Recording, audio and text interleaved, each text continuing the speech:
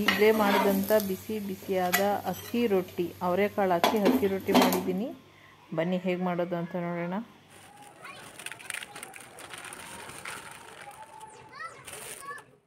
ಎಳೆ ಅವರೆಕಾಳು ಇದ್ದಾಗ ರೊಟ್ಟಿ ಮಾಡಿದ್ರೆ ತುಂಬ ಚೆನ್ನಾಗಿರುತ್ತೆ. ಹಸಿ ಎಳೆ ಅವರೆಕಾಳುಗಳನ್ನು ನಾನು ಬಿಡಿಸಿಟ್ಕೊಂಡಿದ್ದೀನಿ. ಒಂದ್ಸರಿ ತೊಳೆದು ನಾನು ಬೇಯಲಿಕ್ಕೆ ಹಾಕ್ಕೊಳ್ತಾ ಇದ್ದೀನಿ.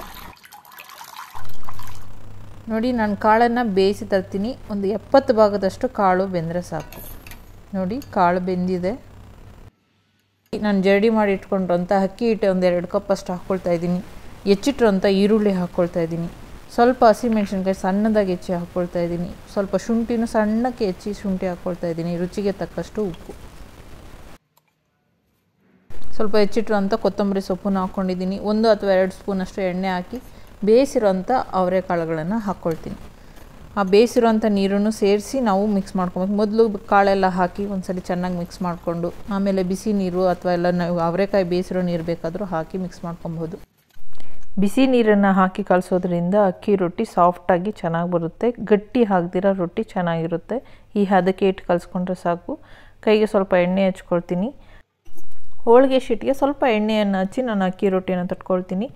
ಈ ಶೀಟ್ ಬೆ, ಲಿಂಕ್ ಬೇಕಾದ್ರೆ ನಾನು ಕೆಳಗೆ ಡಿಸ್ಕ್ರಿಪ್ಷನ್ ಬಾಕ್ಸಲ್ಲೂ ಕೊಡ್ತೀನಿ. ತವ ಬಿಸಿ ಆಗಿದೆ. ಈಗ ಎಣ್ಣೆ ಒಂದು ಸ್ಪೂನ್ ಹಾಕಿ ನಾನು ರೊಟ್ಟಿಯನ್ನು ಎರಡೂ ಕಡೆ ಈವನ್ನು ಕುಕ್ ಮಾಡ್ಕೊಬೇಕು. ಮೊದಲು ಒಂದು ಐದು ನಿಮಿಷ ಮುಚ್ಚಳವನ್ನು ಮುಚ್ಚಿಟ್ಟು ಬೇಯಿಸ್ಕೊಳ್ಳಿ. ನಾವು ಕಾಳನ್ನು ಈಗಾಗಲೇ ಬೇಯಿಸಿರೋದ್ರಿಂದ ಕಾಳು ತುಂಬ ಹೊತ್ತು ಬೇಯೋದಕ್ಕೆ ಸಮಯನ ತಗೊಳಲ್ಲ. ಕಾಳು ಬೆಂದಿದೆ. ಹಾಗೆ ರುಚಿಯಾಗೂ ಇರುತ್ತೆ ಅಕ್ಕಿ ರೊಟ್ಟಿ. ಶುಂಠಿ ಎಲ್ಲ ಹಾಕಿರೋದ್ರಿಂದ ಜೀರ್ಣನೂ ಚೆನ್ನಾಗಾಗುತ್ತೆ. ನಾನಿಲ್ಲಿ ಈರುಳ್ಳಿ ಚಟ್ನಿ ಜೊತೆ, ಮೊಸರು ಜೊತೆ ಸರ್ವ್ ಮಾಡಿದ್ದೀನಿ. ಕಾಯಿ ಚಟ್ನಿ ಜೊತೆ ಕೂಡ ನೀವು ಕ ಸರ್ವ್ ಮಾಡ್ಬೋದು. ಇಷ್ಟ ಆದರೆ ಲೈಕ್ ಮಾಡಿ ಶೇರ್ ಮಾಡಿ ಸಬ್ಸ್ಕ್ರೈಬ್ ಮಾಡ್ಕೊಳ್ಳಿ. ಈಗಾಗಲೇ ನಮ್ಮ ಚಾನಲ್ನ ಸಬ್ಸ್ಕ್ರೈಬ್ ಮಾಡ್ಕೊಂಡಿದ್ರೆ ತುಂಬ thanks thank you for watching